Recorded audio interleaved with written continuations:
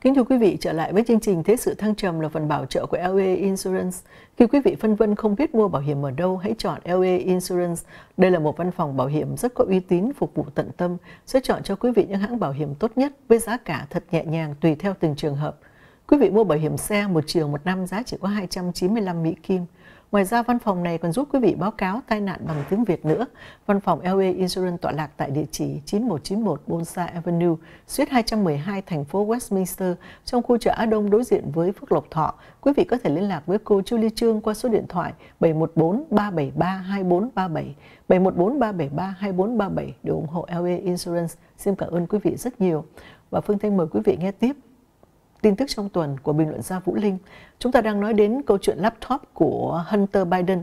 Và trước ngày bầu cử thì truyền thông dòng chính đã ém nhẹm để giấu câu, câu chuyện này đi ờ, để cho Joe Biden có thể đắc cử.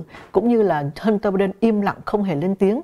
Nhưng mà sau khi cụ Biden bắt đắc cử rồi và sau khi Joe Biden đã bổ nhiệm một luật sư của cậu ấm Hunter là giám đốc lo các vụ án hình sự trong Bộ Tư pháp, bảo đảm những việc làm của cậu ấm sẽ không bao giờ bị Bộ Tư pháp và FBI điều tra hay truy tố, thì cậu ấm mới dám lên tiếng tự bào chữa. Cậu bào chữa rất siêu, nhìn nhận là laptop đó là của cậu, không bị đánh cắp, nhưng cho rằng laptop đã bị Nga hack, tức là chui vào để nhét hình ảnh, tin tức và email phịa vào. Bản tin tiếp theo, hệ quả phải đạo chính trị cấp tiến. Sau khi cụ Biden tuyên bố chính sách nhìn nhận quyền lựa chọn giới tính của mỗi người, thống đốc California cũng chạy theo ra lệnh tương tự cho cả tiểu bang California. Hậu quả ở đâu không biết nhưng đã thấy có 261 tên tù chính thức xin chuyển giới thành đàn bà ngay. Trong đó có 6 anh nhìn nhận mình đồng tính, muốn tiếp tục ở tù chung với đàn ông, còn 255 tên xin chuyển qua ở chung trong tù dành cho phụ nữ. Dĩ nhiên, thống đốc California không thể nào từ chối nên đã chấp nhận các đơn xin chuyển giới và chuyển nhà tù. Tin đã được tung ra sang năm, chắc 90% tù nhân sẽ đòi chuyển qua tù phụ nữ hết. Quá vui. Nước Mỹ càng ngày càng tiến nhanh, tiến mạnh và tiến vững chắc vào con đường mắt dây điên khùng. Bản tin tiếp theo, thảm họa Miến Điện. Tình trạng Miến Điện ngày càng xa sút một bên là đám quân phiệt thân cộng chiếm quyền càng ngày tàn bạo, càng tàn bạo. Bên kia là khối dân chất phác hiền lành, hiền lành, ngày càng kiên trì can đảm chống đối bất cần biết cái giá tàn khốc phải trả. Tính cho tới ngày hôm nay đã có hơn 600 thường dân bị bắn chết và không biết bao nhiêu ngàn người bị thương, bị bắt, bị đánh đập. Chỉ riêng trong một ngày 26 tháng 3, ngày quân lực của Mỹ, đã có hơn 100 người bị bắn chết. Cuộc nổi loạn không phải chỉ giới hạn trong một khối dân hay trong một vài thành phố, mà đã lan qua tất cả mọi khối dân, trẻ già, đủ ngành nghề, có luôn cả sư sãi, trong hầu hết các thành phố lớn nhỏ trên khắp nước. Các lực lượng kháng chiến của vài nhóm dân thiểu số đòi tự trị cũng lại nổi dậy trong vùng biên giới với Thái và Tàu. Ngoài nước, các tướng của Miến Điện đã bị cả thế giới lên án, tuy chỉ toàn là võ miệng mà các tướng Miến Điện đều bỏ ngoài tai, trong khi lại được hậu thuẫn của khối Cộng sản Nga Tàu và vài nước hàng xóm. Trong cuộc duyệt binh khổng lồ tại thủ đô Naypyidaw, để phô trương oai thế ngày 26 tháng 3, Nga đã gửi một bộ trưởng qua tham dự cùng với phái đoàn của Trung Cộng và Việt Cộng và đại diện vài nước láng giềng như Lào, Thái, Ấn, Pakistan, Bangladesh. Ở Mỹ, một tên du thủ du thực da đen chết, cả nước rồi cả thế giới nổi lên hô hoán là Black Lives Matter. Ở Miến Điện, trên 600 thường dân bị bắn chết, cả thế giới thì thầm võ miệng. Trong câu chuyện Miến Điện, Việt Nam đã biểu diễn một màn đầu tư không đúng chỗ, không đúng lúc một cách cục lạc nhất. Đại tập đoàn Hoàng Anh Gia Lai với sự hậu thuẫn chính trị và tài chính của chính quyền Việt Cộng đã bỏ tiền ra xây cất một dự án kinh doanh vĩ đại lớn nhất Miến Điện là khu thương xá Hoàng Anh Gia Lai tại trung tâm Yangon. Khu này bao gồm một khách sạn khổng lồ thuộc loại 5 sao, một thương xá, shopping mall, toàn là đại tập đoàn hàng hiệu nổi tiếng nhất thế giới, một cao ốc văn phòng cho các đại tập đoàn quốc tế, trong đó có văn phòng của Tọa đại sứ Việt Cộng, Việt Nam Airlines, Ngân hàng BIDV, vân vân và một cao ốc chung cư cho các đại gia, một dự án tốn trên 1 tỷ đô la được khánh thành cách đây khoảng hơn 3 năm. Trước đó, xém khai phá sản và bỏ ngang vì chi phí lớn hơn dự tính quá nhiều. May mà có một đại tập đoàn Singapore bỏ thêm đâu nửa tỷ đô vốn để vào giúp. Khu kinh doanh này ban đầu lấy tên là Hoàng Anh Gia Lai, nhưng tên quá dài, phức tạp mà dân Miến Điện và các doanh gia quốc tế khó đọc nên đổi thành khu kinh doanh và khách sạn Melia. Quý vị hiếu kỳ có thể vào Google đánh Melia Yangon sẽ thấy. Đại, dự án vĩ đại này đầu cơ trên việc Miến Điện mở cửa sẽ thu hút được đại tập đoàn và đại doanh gia khắp thế giới. Cũng không may là sau mấy năm xây cất, vừa mở cửa, chưa có bao nhiêu người biết tới thì Miến Điện bị Covid tấn công. Ngành du lịch cũng như kinh doanh quốc tế bị khựng lại hoàn toàn. Khu Melia còn lại trên dưới zero khách hàng. Giá phòng khách sạn rớt từ 200 đến 300 đô một ngày xuống còn 70 đô vẫn không có khách. Các cao ốc văn phòng và chung cư vắng hơn chùa Bà Đanh. Covid đang thoái lui thì xảy ra biến cố chính trị, bảo đảm sẽ khiến các tay kinh doanh quốc tế né miến điện không thua gì né Covid. Bản tin tiếp theo, cập nhật tin Covid. Thưa quý vị, tóm lược, tình hình Covid tiếp tục ổn định khi tỷ lệ gia tăng người bị nhiễm và tử vong không thay đổi bao nhiêu. Tỷ lệ khỏi, khỏi tiếp tục gia tăng đưa đến tình trạng số người bị dịch hành đang chữa trị đã xuống thấp nhất từ đầu tháng 11 năm 2020. CDC xác nhận không có thông hành trích ngừa. Cơ quan kiểm dịch CDC xác nhận hiện nay không có kế hoạch thiết lập thông hành trích ngừa gì hết, cho dù có nhiều tin thông hành này sẽ giúp mở cửa du lịch thế giới dễ dàng hơn. Hiện nay phe Cộng hòa chủ trương chống lại thông hành này. Hai tiểu bang Cộng hòa lớn nhất là Florida và Texas đã ra lệnh cấm phát hành và cấm đòi hỏi thông hành trích ngừa. Việc đòi hỏi thông hành trích ngừa bị chỉ trích vì sẽ không công bằng, bắt nhiều người không muốn hay không thể trích, bị cấm không được tham gia nhiều sinh hoạt chung hay đi du lịch. Bản tin tiếp theo WHO chống thông hành COVID. Tổ chức Y tế Thế giới WHO chính thức bác bỏ việc áp đặt một loại thông hành trích ngừa trong việc du hành thế giới. Lý do WHO nêu ra là chưa chắc việc trích ngừa bảo đảm tuyệt đối sẽ không bị nhiễm. Hơn nữa sẽ mang tính cách phân biệt đối xử vì thực tế sẽ có rất nhiều người không muốn trích hay sợ hay là không có cơ hội để trích. Bản tin tiếp theo, CDC nói không có đợt COVID mới.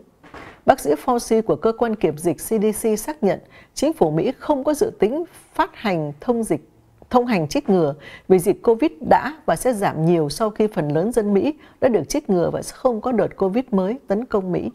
Ông bác sĩ này đã tự đánh mất rất nhiều uy tín khi ông thay đổi quan điểm như trong chóng vì nhu cầu hay chiều gió chính trị, khiến nhiều người đã công kích ông trở thành một chính trị gia chứ không còn là một chuyên gia y khoa nữa.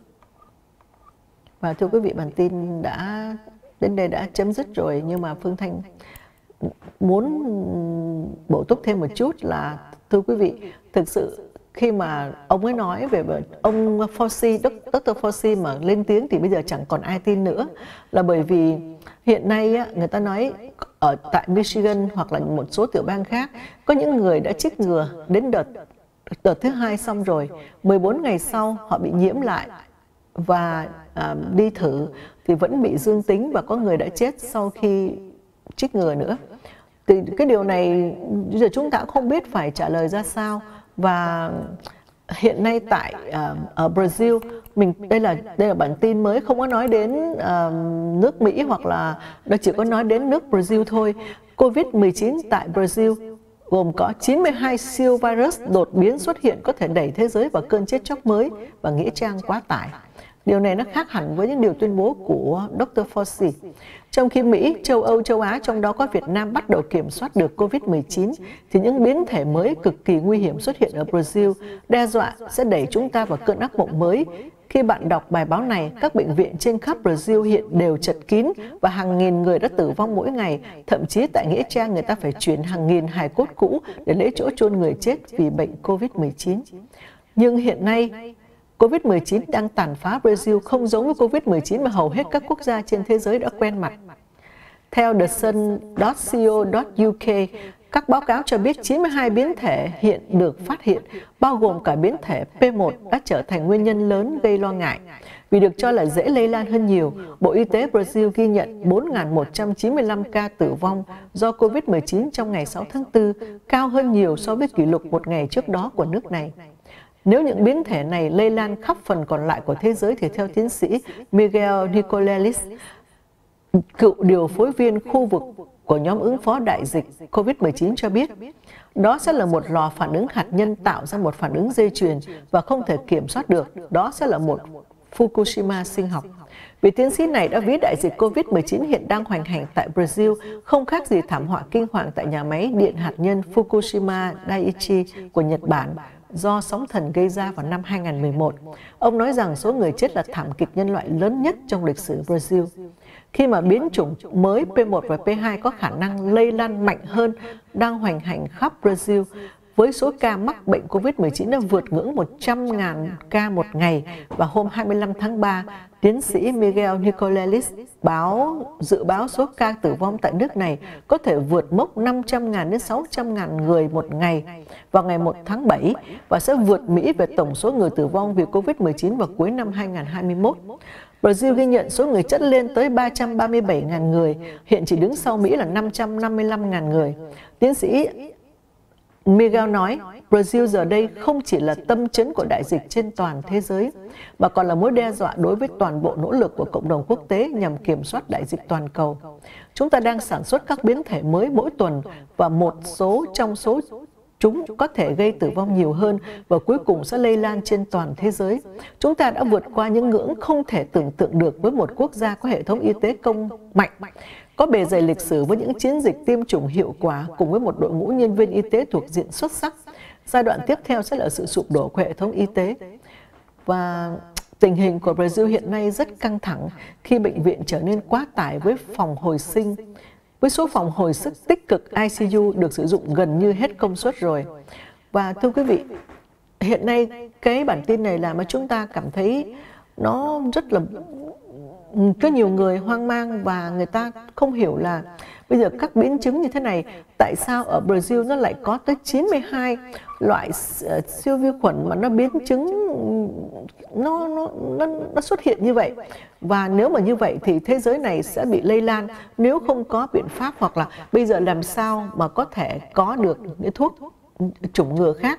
Tại vì cái cái loại siêu vi khuẩn mới này nó nó khác hẳn cái loại mà chúng ta hiện nay đang có, đang chích ngừa rồi, bao nhiêu tiền, cả tiền, bao nhiêu tỷ bỏ ra để mà mà có những cái loại vaccine đó. Thì người ta nói rằng cứ chích cái đó vào người nó có cái, nó có cái kháng thể, thì những con vi khuẩn khác nó vào. Nhưng mà, ô, cái này thực thực sự nó không phải là trong cái mình không ngoài cái sự hiểu biết của chúng ta, ngay cả như những người chuyên gia cũng còn không thể đoán được. Mình không biết cái này nó là thiên tai hay nhân họa tới giờ phút này nữa. Thì chuyện này chúng đành chịu thôi, tại vì chúng ta không thể nào biết được chuyện, cái chuyện này là cái chuyện mà nó nó có mang màu sắc chính trị rất nhiều, nhưng hiện nay tại Brazil như vậy thì chúng, đó là một câu hỏi rất lớn. Và thưa quý vị quý vị đang theo dõi chương trình thế sự thăng trầm.